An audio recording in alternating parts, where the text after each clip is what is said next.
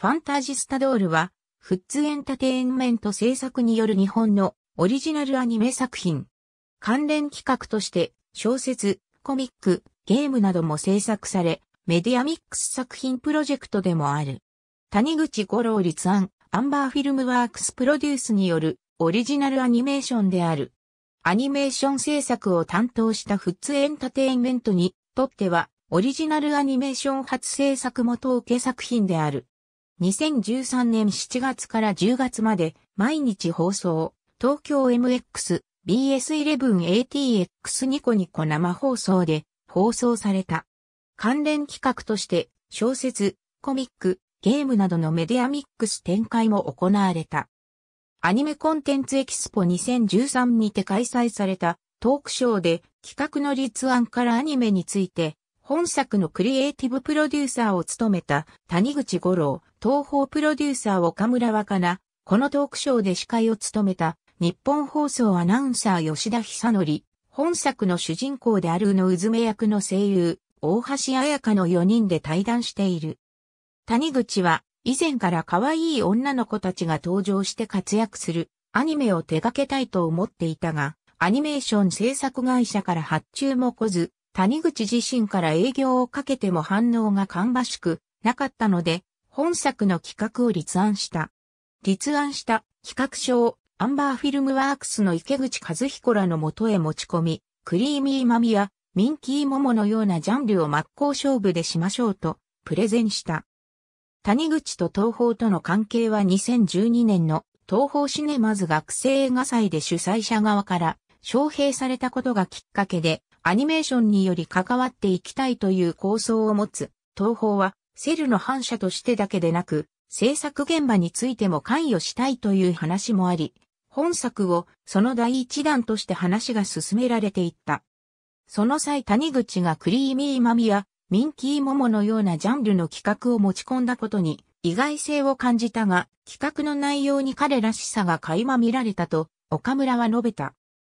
アニメ雑誌に本作品の企画が進行中である旨を掲載したところ、いろいろなところからオファーが舞い込み、2013年7月の放送開始に合わせてソーシャルゲーム企画やコミカライズ企画などが進行し、テレビアニメの放送に先駆け、ニュータイプエース2013年より、アニメでキャラクター原案を務めるアンミ作画によるコミック版と、コンプエース2013年7月号より、アニメーションのコミック版が連載を開始している。同年9月2日より、スマートフォン用ゲームの正式運用も開始している。後に、プロジェクトの幅が広がり、全体を見られるポジションにふさわしいとして谷口が、クリエイティブプロデューサーにアニメーションについては、斎藤久志に監督を任せることになった。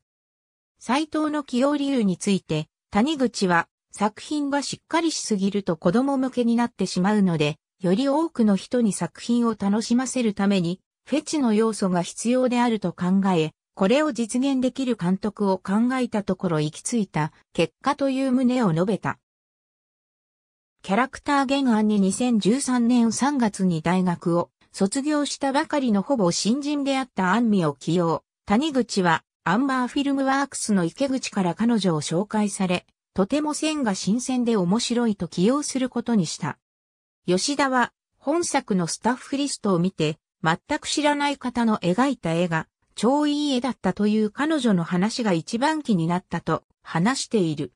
また、アンミのカバーにも回れるよう、トンデブーリニやギルティクラウン、八剣伝、東方八剣異文でキャラクターデザインを担当した加藤博美を制作陣に組み入れた。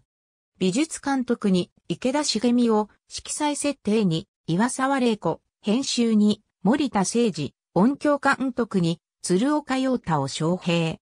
彼らの起用理由について起用しておかないと彼らに忘れられてしまうからと谷口は述べた。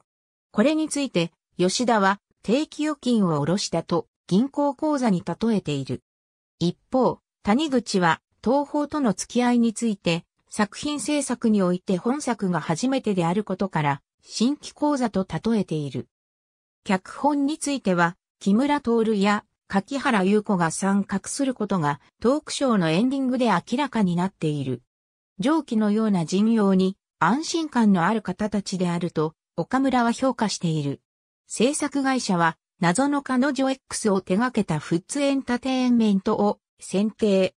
谷口は制作会社の選定は重要な要素であると感じ、これをどうするか考えた時にひらめいた。また、谷口が鉄のラインバレルを手掛けた時のプロデューサーの一人が、フッツエンターテインメントの長井治だったという縁もある。オーディションで大橋をメインヒロインであるうずめ役に起用。谷口はオーディションには行かず、彼女の声だけを聞いて、メインヒロインにふさわしいだろうという理由で決めた。その、ふさわしいという言葉を具体化すると次の通りである。大橋の性格がなよなよしているが、凛とした意志があるところ。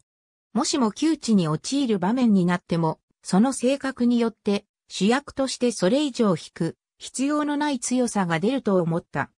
また、谷口は大橋についてその性格が天性の才能の部分もあり、その部分が目立ったからとも表し、起用の理由ともしている。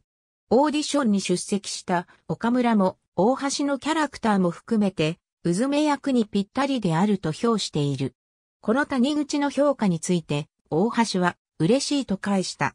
このトークショーでの大橋の衣装は作中に登場する学校、私立声優学館、中等部の制服である。アンミの設定に基づいて描かれたキービジュアルの服装を再現したもの。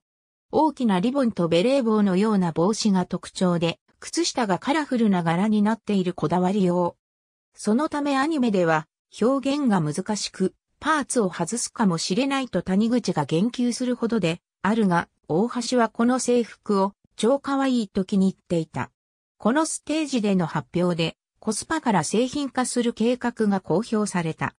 また、この衣装は大阪 MBS での放送開始に合わせて開催された、うずめのお仕事院大阪でも披露された。谷口は本作品を、ゆくゆくは宝塚歌劇で上演されている銀河英雄伝説や11人いるのようなものにしていきたいと目標を掲げていた。ドールの描かれたカード。これをファンタジスタドールと呼ばれている。このカードを入手した主人公の宇野うずめは、そのマスターとなり、ドールたちとの友情を深めたり、ライバルとバトルで対峙したりする物語。チーム名は、マスカレードカレーウキウキ。ファンタジスタドールを狙っている組織。通称、委員会。うずめを第一級敵対者として狙っている。委員会の細胞として指令を遂行することで希望ポイントが加算され、ポイントによって可能な限り希望を叶えられると、各マスターに伝えられている。上層部メンバー防衛省情報本部。